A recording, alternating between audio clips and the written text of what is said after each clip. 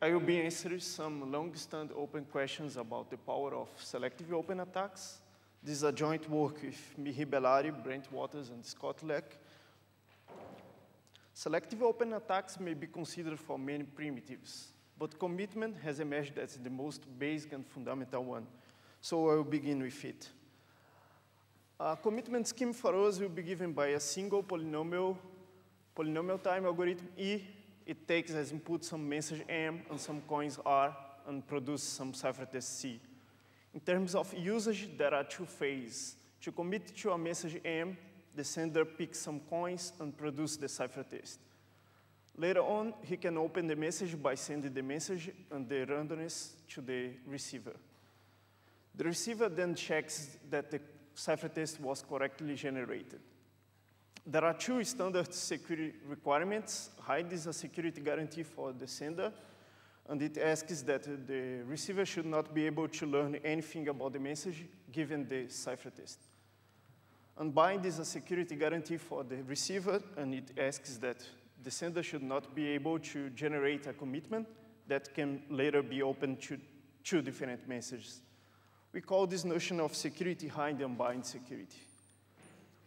So commitment schemes are a, a, basic and widely used tool in cryptography. They are used, for instance, for zero-knowledge proofs, and there, there are many constructions. To be more concrete, we will recall some of the constructions, since our results will apply to them, as well as other constructions. Uh, the first one is Pedersen commitment. A prime order group and some generators G and H are public, and the commitment corresponding to some message M and some coins R is given by G to the power M times H to the power R. Uh, one can also use a collision-resistant hash function and a strong structure to obtain a commitment scheme. Our result will say that both these schemes are not selective open secure, uh, selective open security is a strong form of hiding, so we'll begin by recalling in more detail the standard hiding definition. There should be some message distribution, and the security guarantees that the adversary cannot figure out anything about the message other than what's implied by the message distribution itself. Uh, this is a semantic security style definition and can be formalized by asking that there should be a simulator that don't see the ciphertext, but does as well as the adversary. Uh, selective open attacks is, what, is about what happens in scenarios where there are many possible related messages being committed to. So we introduce some vector notation. Uh, M is the vector of messages. The components may be related to each other. R is a vector of independent coins. Uh, we also use some shorthand notation for the operation of committing to many messages element-wise. We committed to the first message using the first coins and so on. And C is the resulting vector of commitments. Uh, in order to better explain the difficulties in achieving selective open security, we start with an example in which the difficulties are absent namely this selective open and the messages only openings. Uh, the challenge picks some message according to the distribution D, and then the adversary can uh, select some set of the message to be open, and he receives this message, but not the others. And the security guarantee is that the adversary should not be able to figure out anything about the unopened message. That means anything uh, beside what is implied by the distribution and the open messages.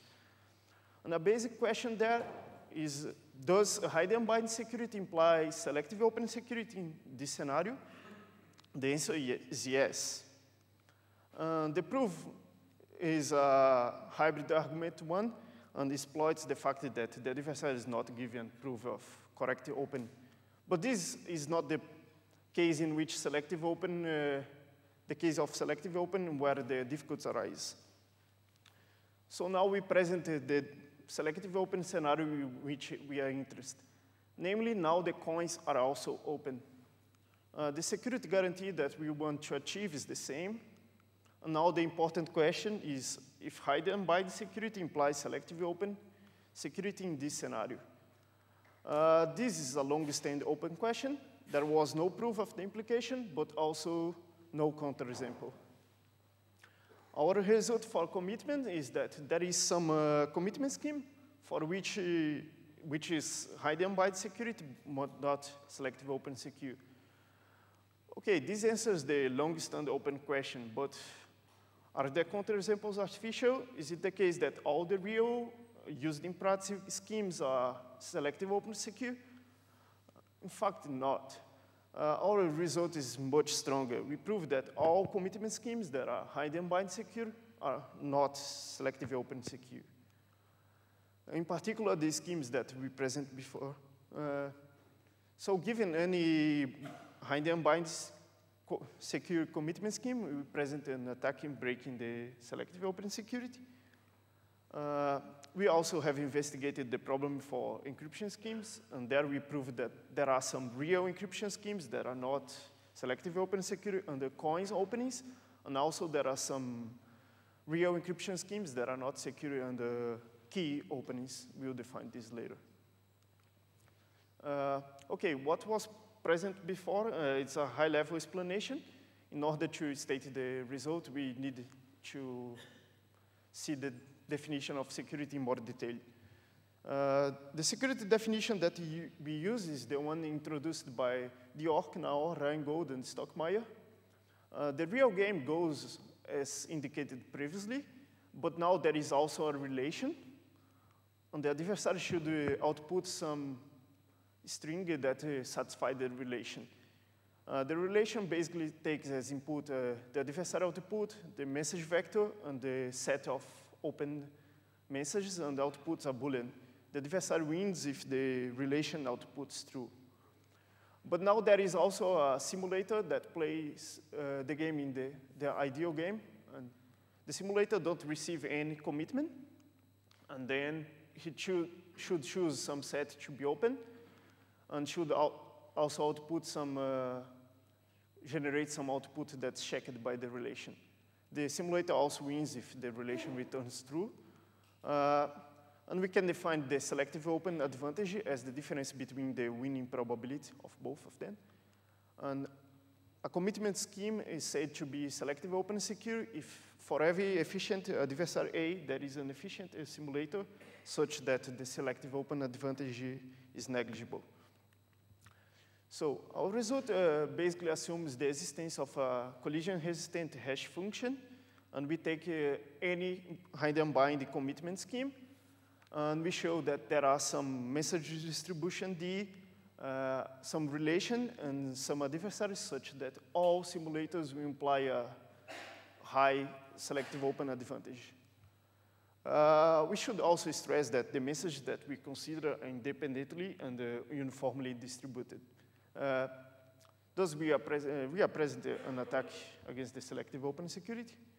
Uh, we should also highlight that we don't assume that the simulation is black box. Okay, so selective open security for commitment was first investigated by Dwork, Naor, Reingold, and Stockmeyer. Uh, in a recent work, Hofheinz showed some uh, impossibility results for black box, black box reductions for standard assumptions.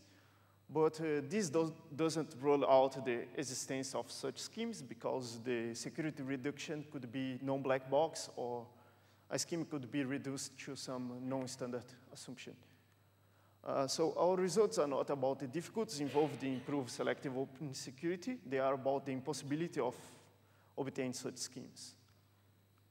In particular, the schemes that we presented before are not secure. Uh, so we are not like finding artificial examples. We are like saying that uh, the real used in commitment schemes are not selective open secure. Uh, it was believed that the difficulty of achieving selective open security was due to the fact that the messages could be related to each other. But in our case, they are not. So uh, it was proved before that for independent messages, uh, hide and bind security implies selective open security, but in a restricted version of this security definition. So our result is implying that uh, this will not be extended to the full definition. So there is no contradiction. And Okay, what about the random oracle model? We know that it's possible to obtain efficient schemes that are selective open secure in the programmable random oracle model. Our result says that this is not possible in the standard and non-programmable random oracle models. Uh, so let's take a look at the previous separation results. Uh, Nielsen showed that for non-committed encryptions, uh, efficient schemes can be achieved in the programmable random oracle model, but not in the standard and non-programmable random oracle models. Uh, but our result is not about efficiency, it's about feasibility. Uh, in terms of uh, feasibility separations, uh, Dodis, Katz, Smith, and Walfish proved a separation, separation result for deniable authentication. Okay, we are all the results for the one-shot scenario, but this can be extended if the messages are super logarithmic in the security parameter. Okay, so the idea of the proof is the following. We use some collision-resistant hash function with output length h, and uh, the challenge sets the number of senders to be two times h and picks uh, independent and uniformly distributed messages. Uh, the adversary hashes the ciphertext vector to obtain some string, and he chooses the vector of senders to be corrupted uh, in the following way.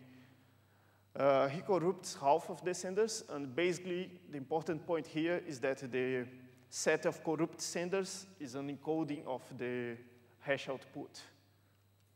This is the most important part here. Um, okay, and when he receives the message and the coins, he just outputs this, all the ciphertexts that were received and the, the coins also. And the relation basically recomputes the hash and check two conditions. First one, if the set of corrupt senders was correctly generated. Second one, if the openings are correct for the corrupt senders. Uh, okay, so they specify that the uh, adversary uh, always make the relation return true. Now suppose that some simulator could also make the relation return true with high probability.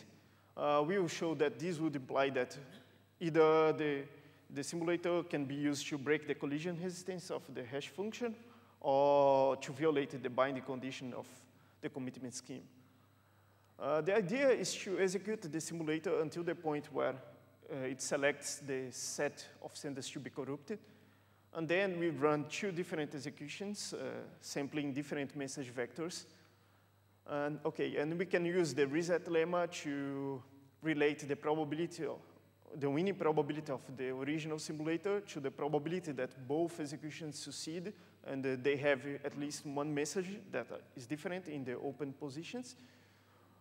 Okay, but if it, this is the case, then either uh, the ciphertext vectors are different, and this implies a collision in the hash function, or the ciphertext vectors are equal, and this implies a violation in the binding condition. Okay, uh, I will now talk a little bit about selective open attacks for encryption schemes. Uh, selective open first uh, appeared in the context of encryption, but it was soon noted that the problem is really, uh, the core of the problem is that uh, most uh, typical encryption schemes are committing. So this led to the focus on the commitment problem that we just showed that's impossible to achieve. But for encryption, uh, it's possible to build efficient schemes. Uh, they have been built based on uh, loss encryption, uh, deniable encryption, also based on non-commit encryption, but in this case, they are not efficient. Uh, okay, but the basic question is still open. Uh, is it the case that all uh, IND-CPA secure encryption schemes are also selective open secure? Or we really needed these specific constructions? Uh, there was no proof of counterexample. Uh, so for instance, is ElGamal uh, selective open secure? Uh, so our result for encryption schemes is that there is some encryption scheme that is IND-CPA secure, but not selective open secure. In fact, it's much stronger. We say that every committing encryption scheme is not selective open secure. Uh, we define what committed means in the paper. Uh, uh, so the result applies for ElGamal or most typical encryption schemes, so we are not finding artificial counterexamples. Uh, uh, we should mention that there is also an uh, indistinguishability style definition of security for selective opening, and we'll show some relations between these different notions.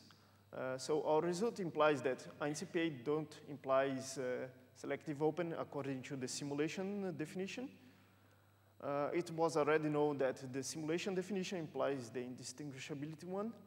Uh, the converse is not true because our theorem holds for independent messages. And it was also known that selective open implies IND-CPA, but the important open question is whether IND-CPA implies the indistinguishability definition of selective open security. Uh, in a recent work, uh, the relations have been further clarified, but this question is still open. Uh, okay, in the context of encryption, we can also define the problem where the receivers instead of the senders are corrupted.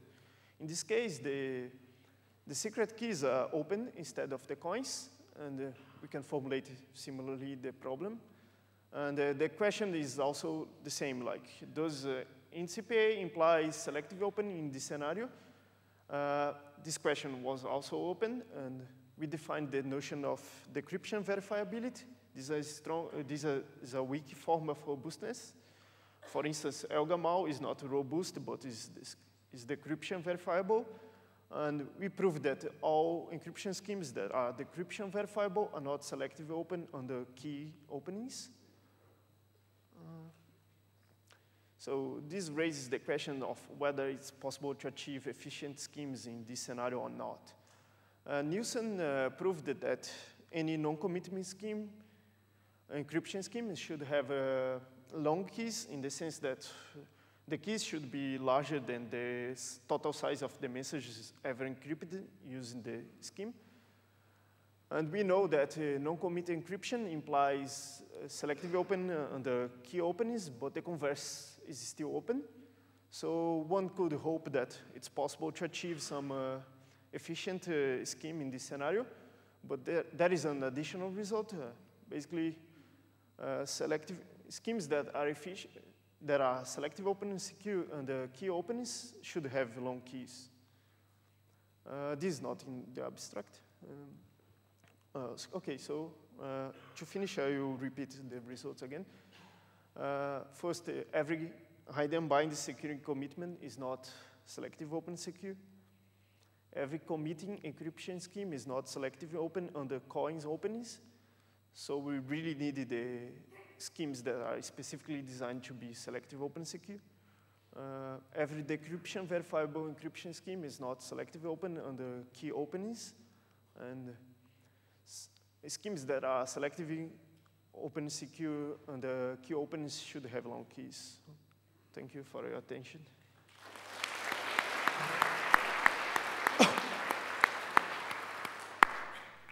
We have time for questions.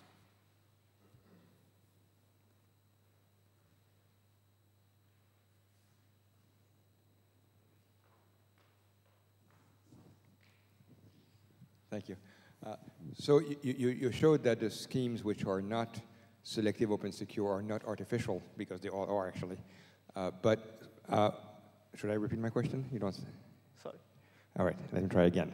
Uh, you showed that uh, the schemes which are not selective open secure are not at all artificial.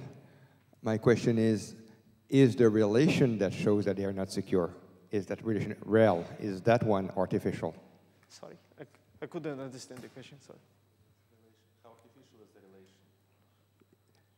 So let me uh, try again. Which relation you mean?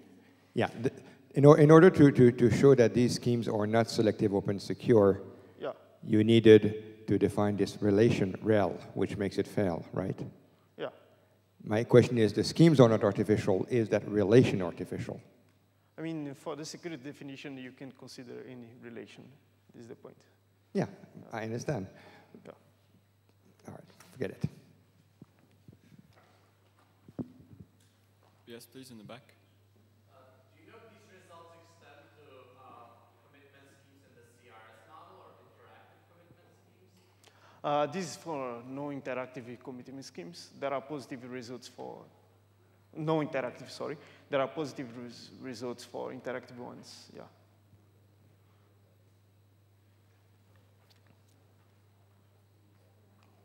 Uh, in the middle, yes.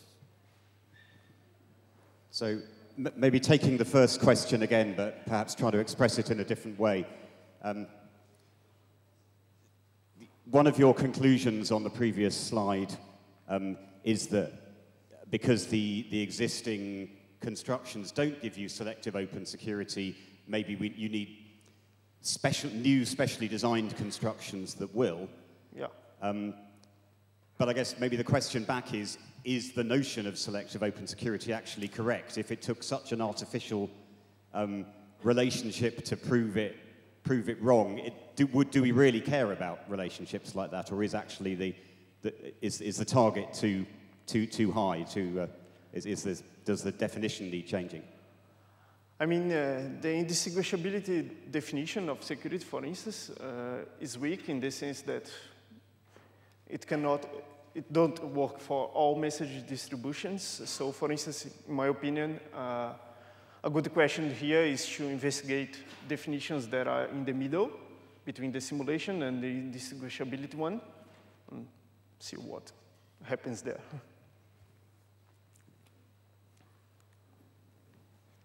Okay, if there's no more questions, let's thank Rafael again.